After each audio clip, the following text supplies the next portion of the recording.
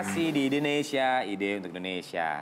Buat pemirsa yang tidak bisa hadir langsung ke Galeri Indonesia Kaya, setiap Sabtu dan Minggu, uh, Galeri Indonesia Kaya juga sudah melakukan aktivitas digital dengan bisa streaming di www.indonesiakaya.com. Nah, uh, Ben juga Tian, kita kedatangan teman-teman dari Kalimantan Timur, tepatnya dari Universitas Mula Warman. Ada teman-teman kita ini yang mau bertanya. Silakan, Masnya dulu mungkin. Saya ingin menanyakan kepada Mas Ben langsung. Bagaimanakah cara untuk membuat sebuah blog kita itu ramai akan pengunjung yang pertama? Seperti itu.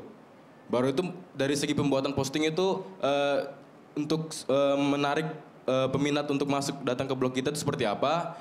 Itu aja. Makasih banyak. Nah. Uh, blog ini kan sama ya, salah satu konten digital ya. Yang kita bisa menemuin blog selama ini di mana? kita bisa cari dari search engine ketemu blog ya.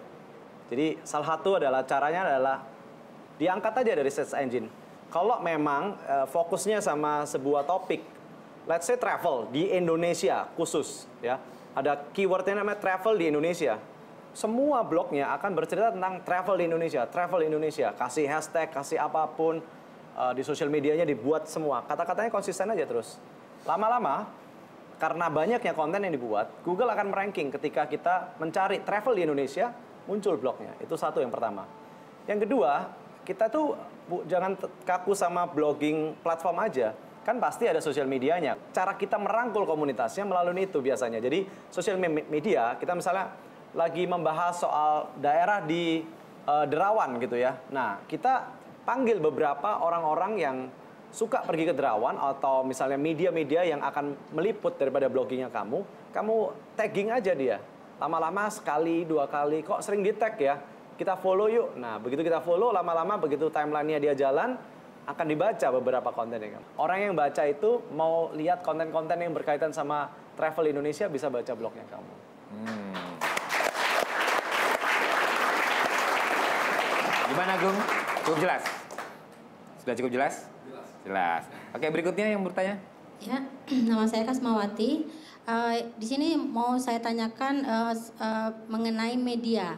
Media digital bagaimana memaksimalkan media, digital untuk melakukan pemasaran online agar uh, menarik konsumen atau pelanggan sebanyak mungkin untuk membeli produk yang kita jual. Oh, gitu pertanyaannya. Gimana, Christian? Uh, banyak cara gitu ya. Kamu jualan online uh, bisa di banyak marketplace gitu ya. Kita sebut beberapa lah nama-nama toko marketplace yang besar. Uh, bisa juga ini sebenarnya semacam kayak blog. Tadi Mas Ben udah menceritakan gimana supaya blog kita laku, dibaca banyak orang. Kurang lebih seperti itu.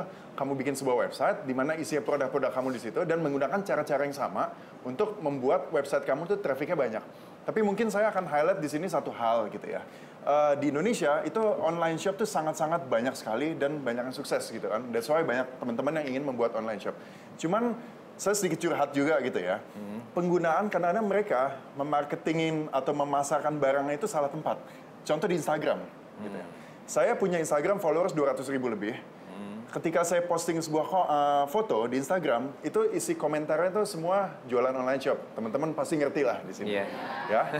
saya di sini kesempatan gitu untuk cerita bahwa itu sangat mengganggu sekali. Jadi jadi udah sering ketemu sama bro dan sis ya? Yeah. Aduh, udah capek sekali. Kebanyakan sis. Kebanyakan sis. Hilang ya? sering ngomong cari apa aja ada di Instagram. itu sangat mengganggu sekali. Itu cara yang salah karena sangat tidak relevan dengan kontes uh, konten dari artikel atau post Instagram orang tersebut dan itu sangat mengganggu sekali kok buat saya sih. Hmm. Seperti itu. Ini curhat sedikit. Yeah. ben. Nah, uh, Mas Ben, ini tadi sedikit lagi tentang uh, social campaign dan juga uh, kampanye digital yang efektif, apalagi dalam marketing itu. Itu kan ada orang-orang yang disebut uh, terkenal untuk membantu dalam marketing atau dalam ya dalam social campaign itu namanya buzzer. Ya.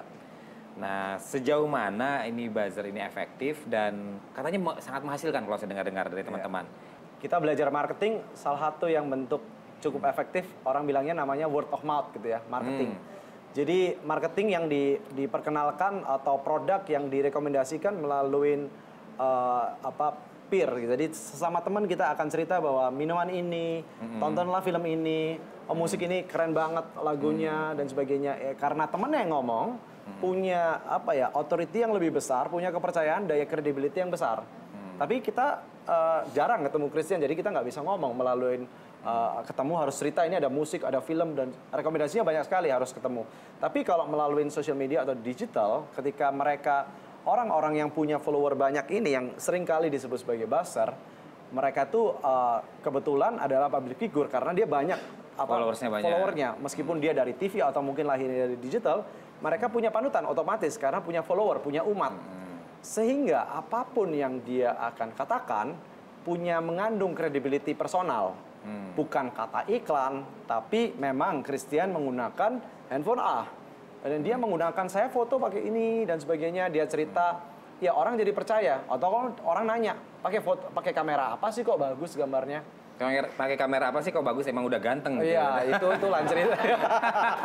Jebakannya di situ. Tapi eh, karena rekomendasi personal itu punya credibility saya bilang. Jadi ketika satu orang memiliki 2 juta follower, jadi brand mau pakai, eh, pengiklan mau pakai, dia bilang kira-kira ngelihat Christian kayaknya cocok nih kalau pakai teknologi A, handphonenya merek ini. Jadi dipakailah sama Christian berapa kali dia diminta untuk bikin tadi yang istilahnya dia adalah native ad. Jadi seolah-olah dia lagi selfie sama teman-temannya tapi tetap kelihatan merek si handphonenya. Ah, iya, itu iya. dibayar mungkin gitu karena menunjukkan bahwa untuk selfie paling bagus itu pakai handphone ini gitu. Ah iya iya iya menarik sekali pemirsa dan ini kita waktunya hanya 30 menit. Eh, sedikit aja harapan-harapan dari Christian juga dari Ben untuk eh, dunia bisnis dari eh, digital ini bisnis eh, digital campaign. Eh, kalau aku sih harapannya semoga eh, karena aku sebagai salah satu entrepreneur muda juga gitu Hmm. yang terjun di bidang ini, semoga mungkin eh, teman-teman yang penonton maupun yang di sini gitu juga ikut menjadi semangat dan jadi terinspirasi gitu ya untuk Hmm. menjadi seorang entrepreneur terutama di bidang digital teknologi karena eh, situasi di Indonesia sekarang sangat hot gitu ya, Iya. sangat-sangat bagus investor sangat banyak dan anak-anak muda ini sangat kreatif sekali. Jadi kita sama-sama membangun ekosistem industri ini yang masih hijau, masih masih tadi Ben juga cerita dari segi peraturan segala macam juga masih melihat lihat dibentuk. Kita sama-sama membangun supaya menjadi industri yang sangat sehat sekali dan Indonesia ini saya yakin beberapa tahun ke depan ini akan menjadi sangat besar sekali gitu. Jadi ya sekarang waktu yang paling tepat kita sama-sama membangun sama-sama supaya bagus. Yeah. Dari Ben? Ya eh, sama kita sama-sama entrepreneur yang mencoba untuk bangun produk Indonesia sendiri. Jadi ini salah satu fakta sebenarnya. ya. Kalau kita lihat ranking apa ya eh, website yang paling banyak dibaca sama orang Indonesia, dua yang tertinggi itu milik asing. Satu Google, satunya Facebook. Mungkin nggak semua orang tahu, tapi memang dipakai sama banyak orang.